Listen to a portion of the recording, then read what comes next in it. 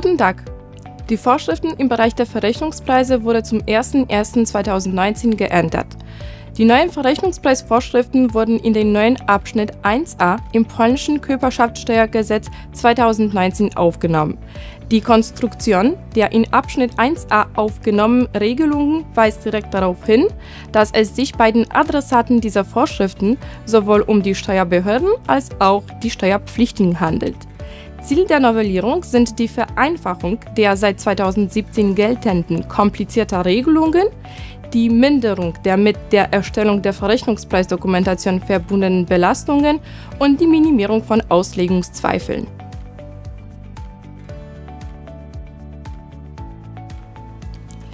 Diese Änderung soll potenzielle Auslegungsstreitigkeiten anschränken. Es wurde unter anderem folgende Begriffe definiert: wie wesentlicher Einfluss, umfasst drei Bereiche, über die ein Unternehmer wesentlichen Einfluss auf andere Unternehmer ausüben kann.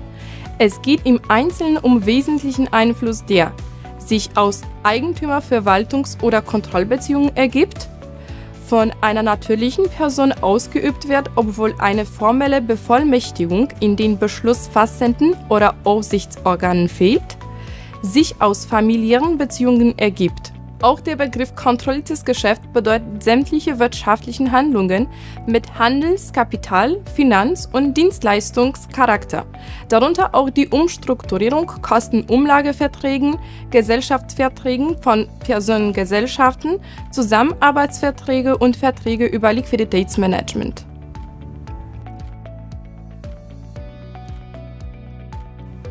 Die neuen Vorschriften erhöhen die Schwellenwerte, nach deren Überschreitung die Pflicht entsteht, eine Verrechnungspreisdokumentation zu erstellen. Der Wert eines Geschäfts ist in polnischen Zloty ausgedrückt und nicht in Euro, wie es bis Ende 2018 der Fall war. Die neuen Vorschriften präzisieren auch, dass für die Berechnung der Schwellenwerte der Nettowert, das heißt ohne Umsatzsteuer, zu berücksichtigen ist. Die neuen Schwellenwerte gestalten sich wie folgt. 10 Millionen Zloty für den Erwerb oder Verkauf von Waren, Sachanlagen, die Beschaffung oder Erteilung von Fremdfinanzierung, Bürgschaft oder Garantie. Dann 2 Millionen Zloty für den Erwerb oder Verkauf von Dienstleistungen, immateriellen Vermögensgegenstände und Rechte, Mitte, Pacht, Leasing oder Lizenz. 100.000 Zloty bei Geschäften mit Rechtsträgern mit Standort in sogenannten Steueroasen. Was auch wichtig ist, die Geschäfte, die zwischen inländischen Verbundenunternehmer abgeschlossen werden, können von der Pflicht der Erstellung der Verrechnungspreisdokumentation befreit werden. Jedoch unter der Annahme, dass die Bedingungen kumulativ erfüllt werden. Das heißt, die Steuerpflichtigen keinen steuerlichen Verlust tragen und die Befreiung aus Artikel 6 Körperschaftssteuergesetz sowie die Befreiung von Einkünften aus der Ausübung einer Gewerbetätigkeit, die in einer Sonderwirtschaftszone ausgeübt wird, nicht in Anspruch genommen werden.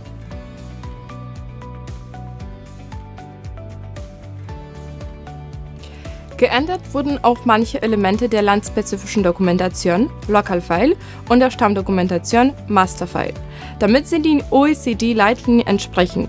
Es ist anzumerken, dass die Vergleichbarkeitsanalyse gemäß der novellierten Vorschriften ein Pflichtelement der landesspezifischen Dokumentation ist. Betrifft das dokumentierte Geschäft Dienstleistungen mit geringer Wertschöpfung oder ein Darlehen und erfüllt es die im Gesetz genannten Kriterien, das heißt den Safe Harbor Grundsatz für Dienstleistungen mit geringer Wertschöpfung und Darlehen, so ist es zulässig, dass die landspezifische Dokumentation keine Vergleichbarkeits- oder Übereinstimmungsanalyse enthalten muss.